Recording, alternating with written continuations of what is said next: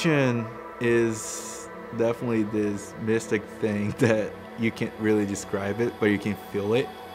And you need to spend time there to see like how it moves, how how everything works in there because every day it will be different. Every hour it will be different. It's a living thing. So to really feel it, you got to be present and you got to be there.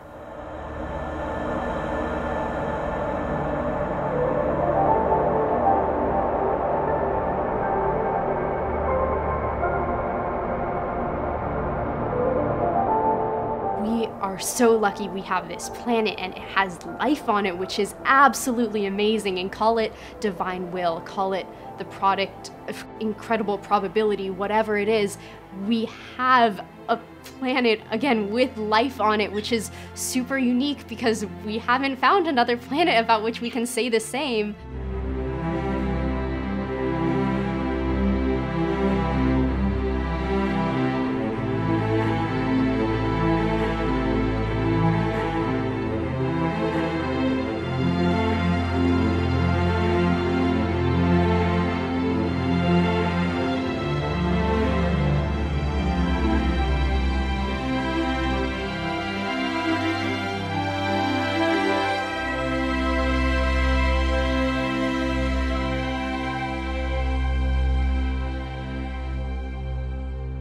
Here they are in our homes, augmenting our comforts, serving our needs.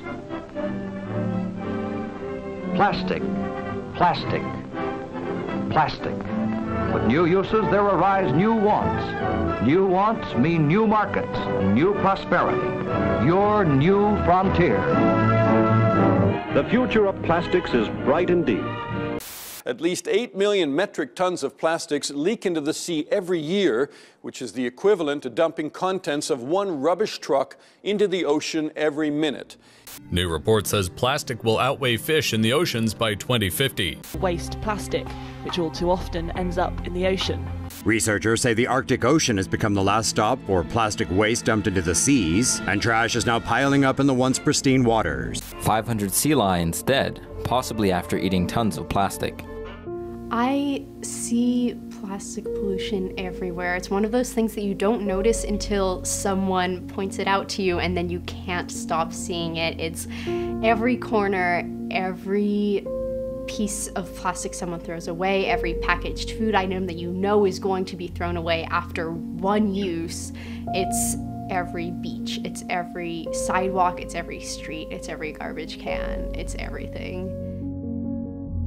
Looking at the rate that humanity is manufacturing and producing and consuming plastic, this non biodegradable, everlasting garbage, it's, it's obviously insane and it's increasing.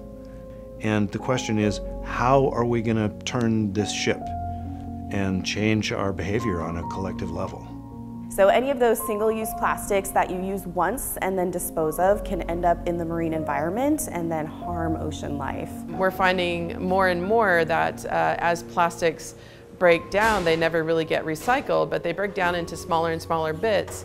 And those very small plastic bits enter our environment and can be ingested by us through our water supply or our food. It can bioaccumulate up the food web, so when a small fish eats a tiny piece of plastic and a bigger fish then eats that small fish, they're going to accumulate those plastics within their bodies. In addition, if animals ingest this plastic, um, it can completely uh, impact their stomach, uh, making them unable to eat, and then they slowly starve to death, which is a pretty miserable way to go.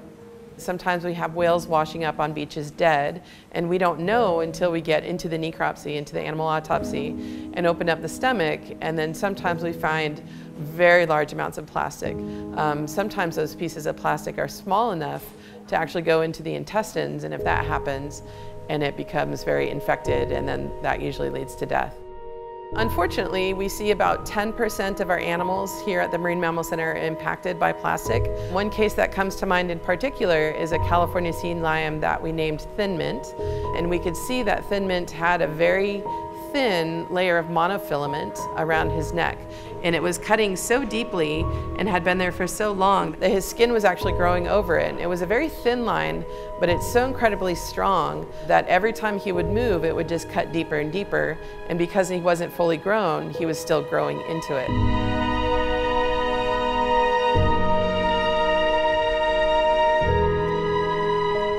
If there's one thing that I could say that I, I brought away from my experience being with the birds on Midway Island, it's something that really changed the way I see everything.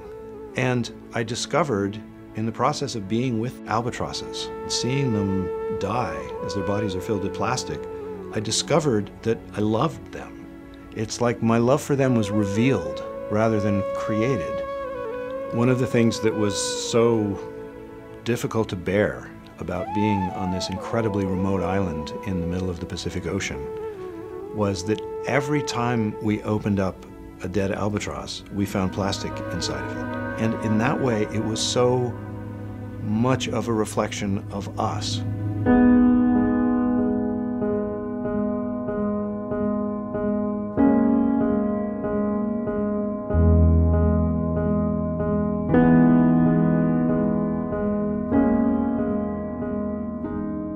Maybe some of my trash has ended up in the ocean. And so I feel sad, but you know, this is the reality that we have to face. It comes from all of us and it impacts all of us.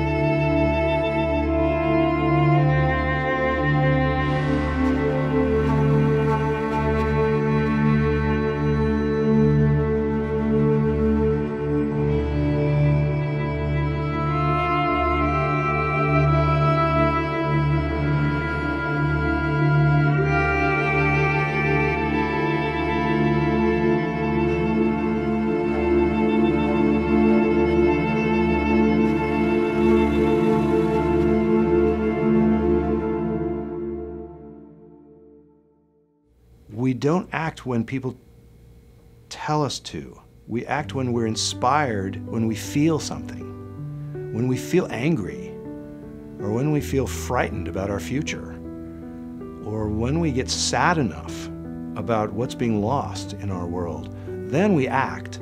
All over the world, there's all kinds of really interesting change being made around the way we consume plastic. And some of the most effective activism is going on in legislatures and governments who are now banning single use disposable plastics. On average, Americans use 500 million straws per day. So if we can skip the straw, even just one straw throughout your day, it's gonna have a great impact. Additionally, if people are willing to take that next step, you know, other than uh, reducing their single-use plastics, if they want to take that next step, then they should really uh, work in their communities to take action.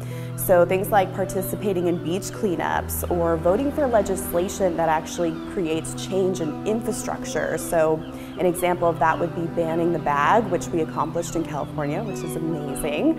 Um, and who knows, in the future, if we keep talking about this and having these conversations, then maybe we'll ban the straw, ban um, the bead, other plastics that can end up in the environment.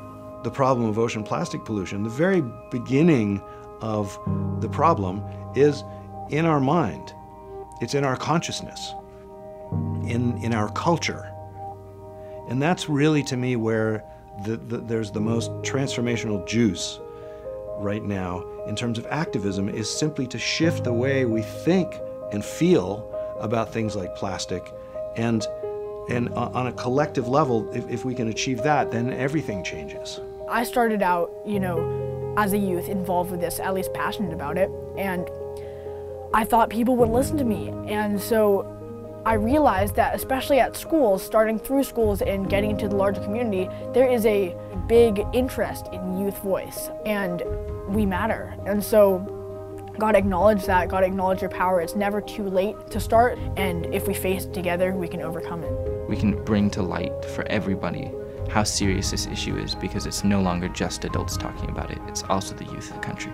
So, as young people, we're in a difficult position because we've kind of inherited this mess that we did not create, but our futures and that of our posterity is completely dependent on our ability to undo the damage that generations before us have done. That's what I think youth and activists and youth in general across the nation have a responsibility to do is recognize that it's not just the adults that have a responsibility to to kind of rectify this problem, but that uh, when this problem is really going on and going down, and when we're feeling the effects, it's actually us youth that will decide whether or not these effects will continue or get worse. I don't want the legacy of the human race to be a group that just took something so amazing and destroyed it instead of protecting it and appreciating it. When you look at billions of years from now, nothing that we do in our lives really will matter, but if we have taken one of the few planets potentially in the entire universe that have life and destroyed it, that's that's not the legacy I want us to have left.